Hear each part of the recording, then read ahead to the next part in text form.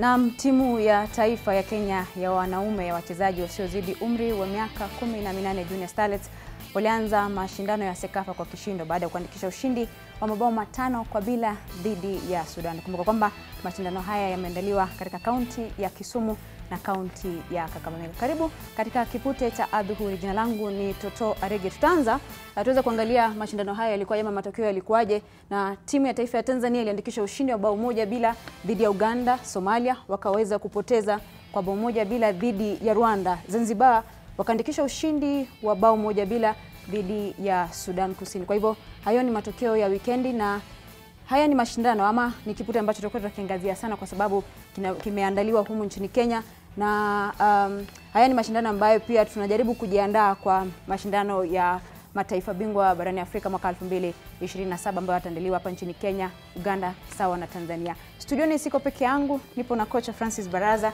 Wale ambao tunafuatilia soka humu nchini tunamfahamu, na pia tunaye Zax Wawiru ambaye pia ni mkufunzi na pia ni mchambuzi wa masuala ya soka. Karibuni. Asante, asante. Ehe, tukianza ni mashindano yamekuwa mazuri. Uh, ukiangalia coach Francis, Kenya tumeanza na ushindi wa mabao matano kwa bila. No. Hii inamaanisha nini kwa Kenya? Uh, inamaanisha kuwa saizi Kenya nafikia we are serious. Jaribu kuangalia goli tano hizo eh, na vile walimu na na na benchi lake la ufundi wamejaribu kuokota timu nzuri, na ukiangalia si kubahatisha, maana ukiangalia timu ambayo imechukuliwa saizi ni timu ambapo tunatarajia tu kikombe kibakia hapa nyumbani, so tumetangaza hali hatari. Kwa hizo goli tano tumetangaza hali hatari yeah. Ukiangalia Zax, uh, wachezaji wachanga, angalia kama kina Tyson Kariuki, angalia kama kina, angalia kama yule winger Collins ambaye aliweza kufanya vizuri kwenye mashindano haya. Inamaanisha kwamba haya ni maandalizi ya kuweza kufuzu uh, kombe la dunia mwaka 2030. uh, mtamuunga mkono coach Baraza, vile amesema ni kweli, maandalizi tunayo, na ukiniuliza kwangu mimi nafikiri maandalizi yenyewe uh, Sakafa under 18 ni ile wanaita piloting because juu ya AFCON 2027 yeah. ambayo vile umesema itakuwa Uganda, Kenya na Tanzania. Kwa hivyo kwangu ni sasa ni waweze kusoma jinsi ya kuweza kujitayarisha kwenye AFCON. Uh, turudi kwenye vijana. Nafikiri vijana kuna vijana wazuri uh, Salim, na kile ambacho nilifurahia sana ni kuwa hawa vijana aliwatoa kwenye, wengi walitoka kwenye academies. Hakuna, ni wachache sana ambao walitoka kwenye national team ama kwenye Premier League clubs, na hiyo ndio sasa tunasema ndio maendeleo uh, ambayo tungetaka federation iweze kuzidisha kuweza kuchukua vijana wakiwa wadogo. Uh, naongea off the camera na, na kocha pale nje nikamwambia nikamuuliza kwa nini coaches wa Kenya hawapendi kutumia vijana wadogo wadogo? Miaka kumi na saba kumi na sita kwenye ligi kwenye Premier League. Uh, na kaniambia kochi wengi hapa Kenya wanataka kushinda, wanataka kushinda tu, ni, ni matokeo wanataka, lakini ile eh, nia ya ku, kuweza kuwaendeleza hawa vijana wadogo haipo.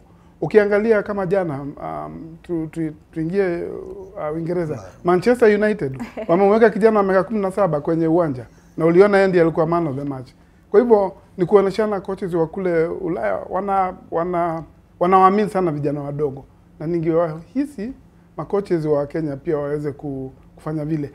Huu ni wakati wangekuwa wote wako kule under 18 kutazama wale vijana wacheza, kwa vile wale vijana wako na quality ambayo ukiangalia sana unaweza fikiri ni vijana wa miaka ishirini na ni vijana wa miaka kumi na chini ya umri wa miaka kumi na nane. Kwa hivyo ingekuwa ni vizuri kama makochi wetu wangeweza ku, kufuata hiyo njia. Mm, na Waswahili wanasema kwamba samaki mkunja ngali mbichi. Kwa hivyo mm. hii ndio hatua ambayo tunafaa kuchukua ili kuweza kujenga timu yetu ya taifa Harambee Stars. Matokeo mengine uh, Rwanda uh, tumeweza kuya, tumeweza kuiangalia na hapo kesho Kenya ina kibarua kigumu dhidi ya Rwanda, alafu Somalia watakuwa na menyana na Sudan. Kocha, kesho pia tuna kibarua kigumu. Kocha Salim Babu amesema kwamba anataka kikombe hiki kiweze kubakia nyumbani. no. Mechi ya kesho Kenya Rwanda. Uh, itakuwa mechi ngumu. Jaribu ukiangalia Rwanda same thing, kijaribu kuangalia wamejaribu wamejaribu ku, kujipanga. Na ukiangalia Rwanda mm, yule kijana gemu ya juzi wakicheza akifunga goli Sibomana Sibomana Bobo Bobo Sibomana. Maanake ni mchezaji pia anacheza Premier League eh, Rwanda, so ni vijana ambapo wana uzoefu. Na ukijaribu kuangalia katika haya mashindano Ukiangalia Kenya, not Kenya, eh, ukiangalia Tanzania na Uganda na Rwanda utapata kuona wachezaji wengi wanacheza kwa vilabu vikubwa huko nchini kwao. Maana ukiangalia mtu kama Sibomana huyo, ukimwangalia anavyocheza na ni mdogo, anakuonyesha kuwa kuna kitu. So ni mechi yetu sisi, ukijaribu kuangalia vijana wetu ni wazuri eh, ule muda tukuwa nao, lakini ukiangalia wanavyocheza wanacheza kama timu imekaa pamoja kwa muda mrefu mm. So mimi sina uoga wote, kila nikisema kuwa mechi itakuwa ngumu but ushindi utabaki kwetu. Eh, kile mi naangalia na vijana wetu hiyo already ile goli tano imewamotivate. So vijana wetu wasiwe na uoga eh, kikombe kibaki nyumbani tu. mm -hmm. Kwa hivyo mashindano haya yalianza tarehe Novemba mwezi huu, tarehe 25 Novemba mwezi huu na yatakamilika Disemba 9 mwaka 2023. Kwa hivyo tunatakia uh, vijana hawa wa Junior Stars kila la heri wanapokuwa wakipeperusha bendera ya taifa. Siku ya Jumatano wiki hii timu ya taifa ya Kenya wanawake Harambee Starlets ina kibarua kigumu kumenyana dhidi ya Botswana katika mechi ya raundi ya pili ya kufuzu kombe la wanawake la mataifa bingwa barani Afrika mwaka 2024. Harambee Stars, Starlets wana kibarua kigumu na kabla tuweze kuangazia mechi hiyo kocha Beldino Demba sawa na winga Elizabeth Omboi waliweza kuzungumza wanapojiandaa uh, kwa mechi hiyo. Tuwasikize.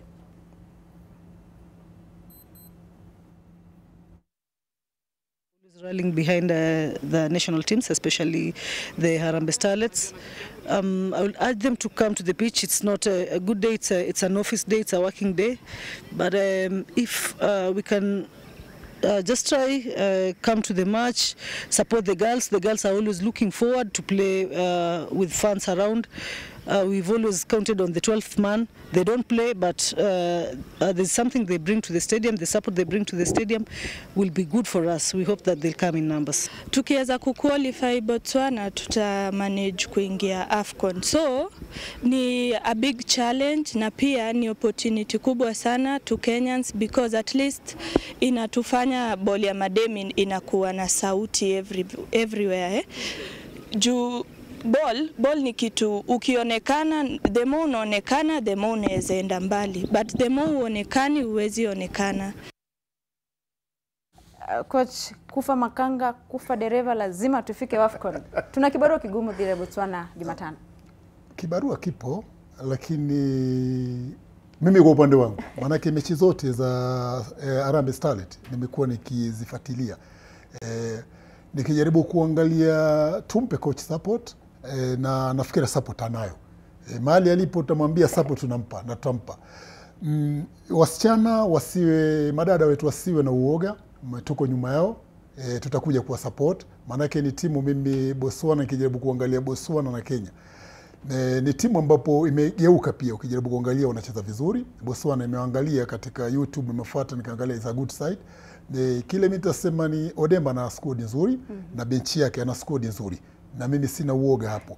Mimi najua ke, siku ya Jumatano Wakenya wote tuendeni uwanjani tuweze kuwapa sapoti hawa wasichana wetu, na nafikiri bila shaka tutaweza kuqualify eh, hiyo AFCON. Toto, mimi nina wasiwasi uh, mimi nina wasiwasi kuhusu maandalizi ya hawa wasichana um, na nafikiri wa- wataweza kushinda. Kumbuka Botswana waliwashinda uh, nafikiri Kamerun mabao kumi uh, on aggregate. Kwa hivyo si timu ambayo tunaweza kuiangalia hivi hivi kwa jicho kando. Hapana, ni timu ambayo lazima tuwe makini sana. Um, na nimesoma jana ama juzi uh, leo uh, already msichana yaitwa Chentrax wa Chikango hata kuwa kwenye kikosi mm. amepata injury. Kumbuka uh, Eda Akida hayuko kwenye kikosi mm -hmm. uh, na hao ni, wa, ni wachezaji ambao wako na experience na wanakuwa wanawategemea Kwa hivyo nina wasiwasi sana, sijui itakuwaje. Uh, ni vizuri amemleta kipa mwingine uh, kwenye timu uh, kwa hivyo hawa wasichana wawili kukosa pale, pengine nina wasiwasi, lakini uh, wacha tuwe positive. Nafikiri Belinda amefanya kazi nzuri, vile kocha amesema ako na usaidizi. Nimemwona pale um, Stanley Ukumbi akimsaidia. Kwa hivyo uh, nafikiri hatuna wasiwasi, mambo itakuwa ni mazuri uh, siku ya Jumatano. Pengine ni vizuri wananchi wakitokea kwa wingi ili tuwa, tuweze kuwapata kuwapata kuwapa ile motivation ya kuweza kusukumana na, na Botswana ambao si, si timu rahisi uh, kulingana na vile wanacheza. Kwa hivyo lazima tuwe makini sana. Coach, ukiangalia Botswana no. na tuna zile kanda wakiingia nchini jana Yeah. na unaona kwamba hizi siku mbili zitawasaidia kuweza kuzoea hali ya anga. Uh, mi naweza sema kuwa nafikiri mvua inanyesha sehemu zote nchini. mm -hmm. E, nafikiri sio Kenya peke yake, nafikiri dunia nzima mvua saizi inanyesha kila sehemu. Kile nitasema ni wale wachezaji wetu, ikiwa kama tunaweza kuwa kuanza mechi ya juzi tukicheza na Cameroon eh, wale wadogo miaka kumi na nane kijaribu tulizembea kidogo, tulikaa nyuma, naona Woga, woga, woga, woga sana. eh, no, nafikiri ni strategy lakini tukiwa tutaanza vile tulianza eh, mimi second half ilivyokuja mechi ya wasichana ile ya watoto ya miaka 18 mm -hmm. bila shaka hawa ni pressure tu tuwapige pressure from the word go. Nafikiri tutafaulu. Na kile kitu kikubwa tunataka ni magoli pia. Ni magoli pia yatatusaidia sana. Kwa upande mwenzangu alivyosema kuwa goalkeeper nimemfuatilia mechi za polisi eh, awa Bullet mm -hmm. eh, goalkeeper huyo wa polisi bullet mm -hmm. eh, goalkeeper mzuri sana Mishibaru. na kuja kwake mi nasema Beldi anafaa tumpe kidole, maanake amemuona na jicho la upande amemuona, na tutampa support kwa upande mwingine, maanake ni msichana goalkeeper mzuri, ataweza kumotivate pia wenzake pale. Ukimwangalia na anacheza kama mtu ambaye ni mzoefu katika ile lengo pale area goalkeeping. Mm -hmm. So mimi sina uoga wote bado, mi nasema bado Kenya bado tunasonga mbele. Naam. Naam, kufikia jana katika uwanja wa Kasarani hapa jijini Nairobi, wachezaji ishirini na wawili tayari walikuwa wameingia kambini uh, na wachezaji wengine wanatarajiwa kuingia nchini leo, na wachezaji hao ni sawa na Anedi Kundu, uh, mabeki Dorcas Shikobe, Vivian Nasaka na Enis Mango, na viungo ni Cynthia Shilwaso ambaye alifunga bao la ushindi dhidi ya Indomitable Lionesses ya Cameroon katika uwanja wa Nyayo. Pia tuna mwana Alima Adam, tuna Jensi Shikango ambaye pia hataweza kuingia kambini kutokana na jeraha, na tuna Teresa Ingesha ambaye pia alikuwa anatarajiwa kuingia hapo jana, alafu tuna Violet Nanjala. Kwa hivyo hawa ni wachezaji ambao tayari hawajaingia kambini na siku ama wakati wote leo watakuwa wanatarajiwa kuingia kambini. Kwa hivyo tunaitakia Harambee Starlets kila la heri, na tutakuwa katika uwanja wa Nyayo hapa jijini Nairobi kuweza kuwashabikia Harambee Starlets kando, Junior Stars kando. Kwa sasa tulikuwa tunaangalia ligi kuu ya wanaume ya shirikisho la soka nchini FKF Premier League baada ya raundi ya kumi na mbili. Jadwali linasemaje? na naambiwa kwamba Posta Rangers wanaendelea kuongoza kwenye kwenye msimamo wa ligi. Mabingwa mara 20 Gor Mahia wanaendelea ku uh, wanaendelea pia kufizia vizia ili kuweza kuingia katika katika nafasi ya kwanza. Jedwali, ndio hilo, timu tano bora. Tunao Posta Rangers ambao wanashikilia nafasi ya kwanza wakiwa na alama 25. Mabingwa watetezi ama mabingwa mara 20 ligi kuu ya wanaume Gor Mahia wapo katika nafasi ya pili na alama 24. Wanabenki KCB wana wapo katika nafasi ya tatu na alama 22. Kakamega Homeboys wanashikilia nafasi ya nne na alama 21. Murang'a Seals ambao walijiunga na ligi kuu msimu huu wanashikilia nafasi ya tano wakiwa na alama 21. Kule chini kuna timu ambazo zinachechemea chechemea. Wanasukari Nzoia wanashikilia nafasi ya 16 wakiwa na alama tisa. Tunao Muhoroni Youth ambao sijui kuna kazi una kibarua wanashikilia nafasi ya 17 na alama nane. Uh, Sofapaka wapo kwenye uh, wapo mkiani wakiwa na alama nane katika nafasi ya kumi na nane. Alafu tuki, tukiangalia matokeo ya wikendi jinsi yalivyokuwa, Wanasukari Nzoia waliweza kupoteza kwa bao moja bila dhidi ya Kenya Police, alafu Mhoroni Youth wakaweza kupoteza kwa mabao mawili uh, kwa mawili dhidi ya Gor Mahia. Uh, Posta Rangers wakaandikisha ushindi wa mabao matatu kwa moja. Kuna kazi kwenye timu ya Shabana, kuna kazi kubwa na mashabiki wanataka kujua kwa nini mnapoteza poteza. Uh, Sofapaka wakapata sare ya bao moja dhidi ya AFC Leopards. Murang'a Seals wakapata sare dhidi ya KCB.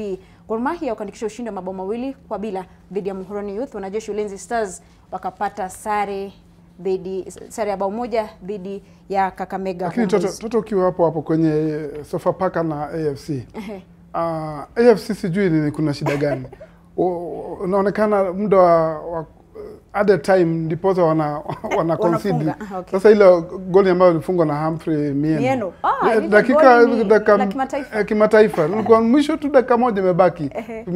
Sasa AFC wana shida na nilisema nimesema wakati mwingi AFC pale nyuma hawajui kumanage uh, ile wanaita management ya, ya, ya defense yao ndiposa wana concede mabao mengi sana zile dakika za mwisho. Kwa hivyo AFC sijui wana shida uh, kidogo, lazima wafikirie habari ya defense. tutaizungumzia. Alafu kuna matokeo mengine, Nairobi City Stars mabao matatu kwa moja dhidi ya Kariobangi Sharks. Bandari wakaandikisha sare ya bao moja dhidi ya Talanta. Tuangazie coach, tuangazie mechi ya wanajeshi wa Ulinzi Stars waliweza kupoteza dhidi ya Homeboys. Nakumbuka kwamba walikuwa nyumbani katika uwanja wa Ulinzi Sports Complex. Shida iko wapi hapa Ulinzi? Uh, kwa kweli eh, nilikuwa kwa hiyo machi nilitizama. Eh, mechi ilikuwa mechi nzuri, ukijaribu kuangalia plan za makocha wote zilikuwa nzuri, ijapokuwa nilikuwa game of chances. Ukijaribu kuangalia Homeboys wali create chances mm -hmm. E, naweza sema kuwa mechi ilichezwa vizuri, ijapokuwa maanake ukipoteza mechi kama e, Ulinzi wamekuwa na msururu wa kupoteza mechi nafikiri mm. mechi ya tatu mfululizo e, ukiwa na ilikuwa na uo, ukiangalia mechi walicheza na ile fia, uoga ulikuwa ndani yao, alafu ilikuwa mipira ikae miguuni, ilikuwa mpira moto Lakini wako nyumbani. ndio nakwambia, baada ya kupoteza mechi tatu mfululizo, unajua kila mchezaji alikuwa na ile huu mpira utoke, lawama staki. Unaona, maana uki- according to mkiangalia walicheza ki, mipira kama ulikuwa ukikaa kwako kidogo unatoka, unaona, hautaki ukae Yaani kwako. kama mpira ni moto, yeah. lazima ukifika kwako unatoka. walicheza haza za plan ya coach nafikiri, mkiangalia walicheza kama eh, defense yao wali marshal vizuri, walizuia mipira ile ambayo ilikuja kama ni hatari. E, but e, kuna nafikiri mambo mawili matatu kwa timu zote mbili yatakana waongeze, maana ukiangalia Homeboys walicheza vizuri though wamecheza walikuwa away, lakini ukijaribu kuangalia vile walicheza na hizo point tatu wamepata, inakuonyesha ni timu ambapo katika hii jadwali saizi -hmm. Homeboys wana njia na sio ya kuja juu na wana uwezo pia wa kuchukua hii premier. Eh, maana ukiangalia vile wamecheza jana, kama wataweza kucheza hivyo wanavyocheza, sina uoga wowote ku, kuwapa upato pia katika timu za kuchukua ubingwa Naam. Uh, Zax Sofapaka AFC Leopards ulikuwa unazungumzia mechi hiyo, Humphrey Miano akafunga bao la kimataifa. Unazungumziaje mechi hiyo?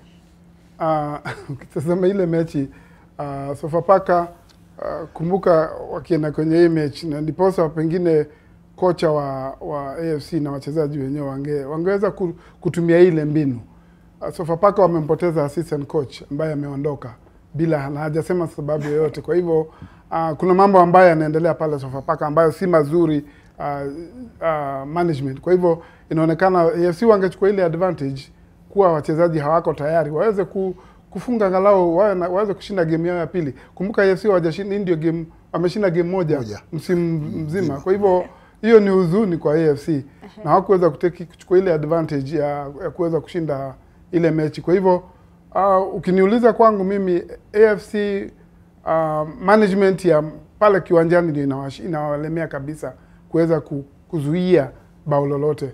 Kumbuka AFC ukiangalia kwenye log AFC wamefunga, ngoja nikwam- nikwambie sasa, AFC wamefunga mabao manane Peke yake manane peke yake katika mechi kumi na mbili. mechi kumi na mbili na wamekubali mabao ngapi? kumi na mbili ndani. Kwa hivyo kuna shida pale AFC. Kwa hivyo uh, wangechukua ile advantage kuwa uh, Eric uh, Ngwana yuko peke yake kwa sasa, waweze kuchukua ile advantage. Pia kuna fununu eh, shida ambayo iko pale Sofapaka ni, ni mishahara. Aha. Kwa hivyo kwaweza kuwa um, wachezaji wacheza tu ili kuweza kukamilisha shughuli ya siku na tumpe heko Humphrey Mieno. Humphrey Mieno ni mzoefu ambaye aliweza kuwapata ile goli ya zile dakika za lala salama. Coach, hapo kwa mishahara ulisema wachezaji wakuwe na patience kidogo.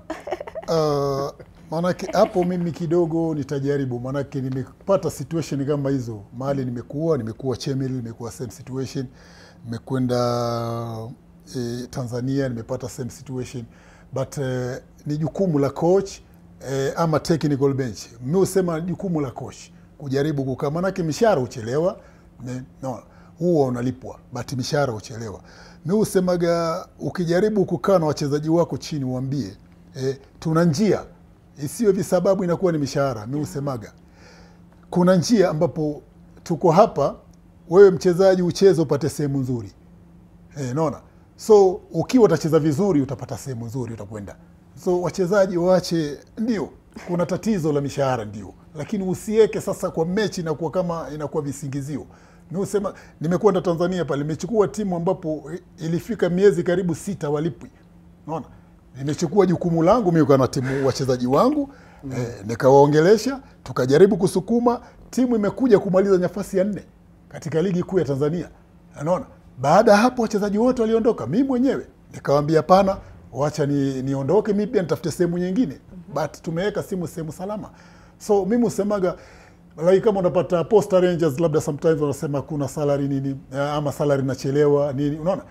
So jukumu lao mwalimu ukana na wachezaji wake chini kuwaongelesha naona maanake ile anataka yeye anataka legacy tengeza jina pale naona the moment atamaliza wa kwanza atakuwa amejitengezea jina naona so mimi kile nitasema wachezaji eh, ama wale official ambao wananisikia wajaribu waweze kuongelesha vijana maanake mishahara inakuja kuchelewa sometimes. Changamoto zipo mingi sometimes mtu anapata pesa vipi? Inakuwa ngumu. Naona so kuna wale ambao wanalipwa wako wapi katika jedwali? Wako chini. Kuna wale wanalipwa katika jedwali wako chini. So mimi kwa upande wa mishahara ndio wanajaribu viongozi wanajaribu juu chini kuweza kuona kuwa wanapata uh, the right time. But isiwe tunaingia uwanjani tukisema kuwa umefungwa unaanza kusingizio mishahara. Mishahara. Itatuumizia soka letu la Kenya. Kidogo tugusie mechi ya Gor Mahia na Muhoroni Youth. Omala ndiyo mfungaji bora, bora kwa sasa akiwa na mabao manane baada ya mechi kumi na mbili.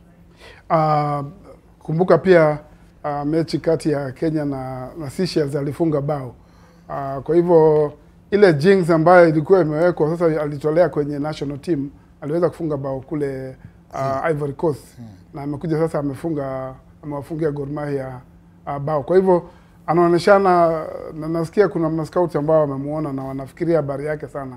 Sitatoa hizo fununu, lakini kuna mambo ambayo inaendelea. Ah, ushaziona kama ushaziona ni sawa tu. Kwa hivyo ni kijana ambaye ah, hataki kufuata mambo ya media vile ina, social media inasema yeye acheza mpira wake na alifanya vizuri kuwapatia Gor Mahia lile goli ambao walikuwa na wanahitaji kule Muhoroni Youth. Yeah. Kumbuka ukienda kule Muhoroni Youth wakati mwingi huwa ni ngumu sana. Lakini walikuwa na, na baba kule, kwa hivyo nafikiri motivation ya Gor Mahia ilikuwa Yeah, ilikuwa hali ya juu. Kwa hivyo ah, tumpe heko uh, Omala na mwenzake uh, ambaye aliwafungia hilo mama Gor Mahia. mawili. Kwa hivyo tukiangalia Gor Mahia uh, wanania na nilisema kutoka tulipoanza wanania, coach haongei mambo mengi, anajua hiyo, azungumzi mambo mengi, lakini yajua hiyo ataka nini. mm -hmm. Kwa hivyo anataka kuchukua title tena msimu huu uh, lakini vita itakuwa ni kati yake na, na Posta Rangers ambao pia wamejikakamua vilivyo. Mm -hmm. na ukiangalia kwenye log Posta Rangers wameingiza wame- bao saba peke yake, Bao saba. wamefunga bao kumi na nane. Yeah. uh, Gor Mahia wamefunga mabao kumi na kumi na nne. Na ndiyo timu ambayo imekubali mabao machache msimu huu Gor Mahia mabao manne peke yake. Kwa hivyo ukiangalia Gor Mahia wako na nia na pengine ukiangalia coach wewe pengine utaweza kuelewa anajua nini wataka Yeah. kufanya. hapo kidogo hapo kidogo nafikiri farasi hapo nafikiria si wawili Watano farasi hata si watano manake ligi bado still iko open huyu polisi tumemsahau Aha. Kocha ulikuwa hapo polisi. yes Hapo hapo. Waliweza kuandikisha ushindi wa mabao matatu kwa moja dhidi ya wanaskari wa Nzoia. ndio Na kuna fununu kwamba kocha wa Nzoia Godfrey Oduor huenda chaniache hapo. Waliandikisha ushindi Yeah. nyumbani mbali na nyumbani. ndio ukijaribu kuangalia ni proses imekuwa mwendelezo. Na ukiangalia saizi stimu ilikuwa imekuja wakasambaratika wachezaji wote wakaondoka. Mm -hmm. wamejenga upya. Naona so kujenga upya tuseme kuwa wako pale chini nasema kuwa ni wabovu. Hapana Nzoia. Naona ni timu nzuri. Ukiangalia wanavyocheza wanacheza vizuri. Katika hiyo jadwali ukiangalia nimeangalia mechi ya Homeboys jana. Naona farasi si mmoja ama wawili. Mm, manake mimi, mimi kwa upande wangu ilikuwa ligi ilivyoanza niliwapatia wale vijana mm, upato mkubwa kuchukua hii ligi. Hawa vijana Kariobangi Sharks. Sijui nini kimewaingia.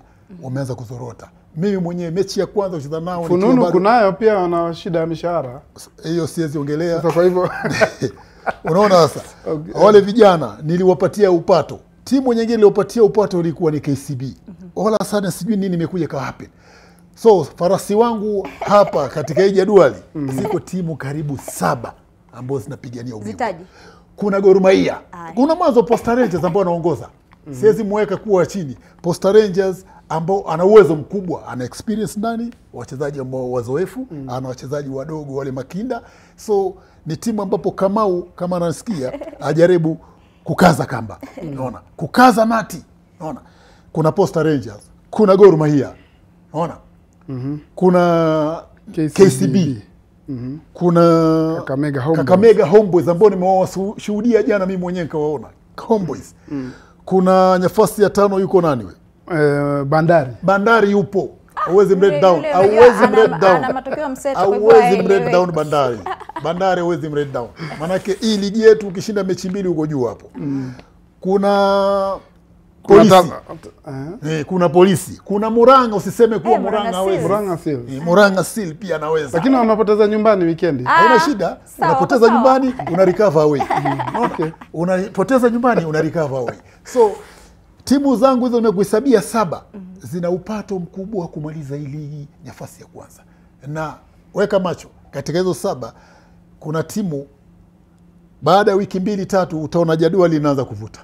Nakwambia, ukiangalia kila nimeenda kwa majadu, ukiangalia katika e, fixture, ukiangalia kila match inavyocheza, unajaribu kuangalia. Homeboys jana wenyewe nimewambia wana uwezo mkubwa wa kuchukua hii ligi. E, the way wanacheza, na kama wanaweza cheza hivyo Unajua sisi coaches tunasahau sometimes. Coaches ni utengeze ni ile legacy tu. Mimi nichukue ligi, nimechukua ligi na Sony. So ukichukua ligi inakuwa ni ile legacy umeweka. No. Lakini, lakini coach, kuna timu moja naona kama umewaacha. Nani? na sijui kwa nini waacha hii timu Bidco, waacha Bidco kwa nini? Bidco na waacha Bidco kiangalia sababu- ukiangalia performance ya timu mm -hmm. uh, wako namba tano mm -hmm. kwenye performance ya timu No, ndio Bidco Bidco- timu nzuri yeah. eh? Bidco timu nzuri. Maanake, nimesema jadwali nafasi ya kwanza mpaka ya tano hizo sawa, uongezee polisi ambao tuko tumesahau, polisi anakuja vizuri, alafu uongezee na nani ambao wa saba hapo hayuko e, maanake tano hizo ongeza mbili ambao ni polisi yuko hapo, naona na hata taska pia usimrate down. Ah, matano. e, Nashangaa mbona hujamweka kwa top 7. ndio huyo yuko hapo basi. Uh, Ah, matano matano yaweza kurudi, atarudi polepole tu bila kila mtu yafikiri matano yuaenda, Lakini lakini mwanzoni mwanzoni mwa ligi walikuwa wanataka walikuwa wanasema oh, kocha ataenda ameandikisha matokeo mabaya, tumempatia mechi mbili akawa anazishinda. Yeah, Sasa acha nikwambie kitu kimoja katika eh, ligi yetu eh, wajua timu kama ukiangalia, kuna wakati ukiangalia Ulaya kuna timu imeanza vibaya, imekuja ime, imeshika ikaanza kusonga. Timu kama Everton ndio waje wapokonywe the pointi zao kumi na ngapi? Mm, kumi- eh, walikuwa walianza vibaya ligi, walikuja wakashika katikati, wakachukua, walishinda karibu mfululizo wa mechi nne, naona. So mi kile nasema matano tusimrate down, kwa mi najua matano anakuja na polisi I mean hawa wanaitwa nani Taska eh, mimi nitawaweka pia hapo katika zile timu zinapigania ubingwa. Taska pia wako, so ni timu saba zangu hizi tano, ongeza polisi, ongeza na Tusker. Uh, coach, ulitoka Police FC, wengi wanashangaa ulienda wapi, na maybe tutarajia nini msimu huu? Uh, nafikiri niliumia, nilikuwa na jeraha ambao ukiangalia ndio na recover, mikongojo yangu iko pale. Eh, niliumia nafikiri kama ligi bado haijaanza, na nimekaa nje, nilifanyiwa operation ya kwanza, kafanyiwa operation ya pili, naona. So nashukuru Mwenyezi Mungu kuwa naendelea vizuri, ijapokuwa e, nimeanza bai jana juzi, nimeanza kutembea sasa, naanza ku, kujikokota kidogo kidogo taratibu, maanake mtoto huo akizaliwa hali direct, lazima utaanza na chakula kile chepe ndio aje -hmm. viazi no. So nashukuru Mwenyezi Mungu kuwa niko vizuri. Sahizi, naanza kutembea taratibu, bado na, natembea na magongo yangu. Ni- karibuni tu nafikiri wataniona e, nafikiri ndani ya wiki mbili tatu wataniona tena e, nafikiri lakini hawata kuona hawatakuona hapa nchini. Watakuona No, nchini ama Wanaweza- nchini ama nyingine? Wanaweza niona nchini, wanaweza niona nje, maanake kazi ni popote. Unaona, ile imekwenda natafuta. Unajua Mwenyezi Mungu ukifung, yani milango yote ikiwa imefungwa madirisha, kuna mmoja utafunguka. mm -hmm. nafikiri inshallah kesho kutwa ama kesho kesho wataniona. Nawaambia wale mashabiki wangu very soon wataniona narudi tena. kuna fununu kwamba ulikuwa unaenda Bandari, ni kweli? No, Bandari sio ukweli, maanake majina mm -hmm. majina, watu wengi wamenipigia simu kuniambia kuwa umeenda Bandari. nawaambia Nawambia hapana, majina tofauti. Naona majina yale mimi na Baraza majina yameambatana. mm. Naona kuna John Baraza, kuna Francis Baraza. Baraza, yeah. So mimi nafikiri eh, ndani ya wiki mbili tatu narudi narudi katika uwanja wetu yeah. Naam, ah, tunakutakia kila la heri. Najua ukienda nje unawakilisha taifa. Kwa hivyo tukiondoka humu nchini ah, baada ya mechi za ligi kuu ya wanaume ya shirikisho la soka nchini raundi ya kumi na mbili tunaelekea Uingereza. Mambo yaliwaka moto wikendi hii na tuangalia msimamo wa jedwali unasemaje. Kuna watu kuna watu hapa mjini hapa mjini Watu wa kelele wako juu. Watu wa kelele wamekalia huku juu, anasema huku juu kuna baridi. katika nafasi ya kwanza Naam. Arsenal wana, wapo katika nafasi ya kwanza na alama 30. Mabingwa watetezi Manchester City wanashikilia nafasi ya pili wakiwa na alama 29. Liverpool wanashikilia nafasi ya tatu wakiwa na alama 28 sawa na Aston Villa ambao wapo katika nafasi ya nne. Tottenham Hotspurs wanafunga tano bora wakiwa na alama 26. Kwa hivyo hizo ni timu tano bora za ligi kuu ya Uingereza. Na kule chini kuna timu ambazo hazifanyi vizuri. Sheffield United wapo katika nafasi ya 18 wakiwa na alama tano. Everton katika nafasi ya 19 na alama nne. Alafu tuna katika nafasi ya 20 tuna Burnley ambao wanafunga mkiani wakiwa na alama nne. Uh, mechi za wikendi zilikuwaje kwaje? Mechi za wikendi kuna timu ambazo ziliweza kupoteza alama muhimu. Tottenham Hotspurs waliweza kupoteza alama tatu dhidi ya Aston Villa, maanake walipoteza mechi hiyo. Everton wakaweza kupoteza wakiwa nyumbani dhidi ya Manchester United. Brentford wakapoteza pia wakiwa nyumbani dhidi ya Arsenal ambao waliandikisha ushindi finyu wa bao moja. Newcastle United wakaweza kuwapiga vibaya sana Chelsea kwa mabao manne kwa moja. Manchester City waliweza kupoteza alama muhimu wakiwa nyumbani Etihad. Uh, walitoka sare ya bao moja na majogo wa Liverpool. Uh, hayo ni matokeo, ni baadhi ya matokeo ya mechi za ligi kuu ya Uingereza. no. Uh, na tuna matokeo mengine ambayo Luton Town City, Luton Town kunradhi, waliandikisha ushindi wa mabao mawili kwa moja dhidi ya Crystal Palace. Alafu hii leo kuna kazi kubwa, saa tano usiku Wolves watakuwa na kibarua dhidi ya Fulham. Kwa hivyo hayo ni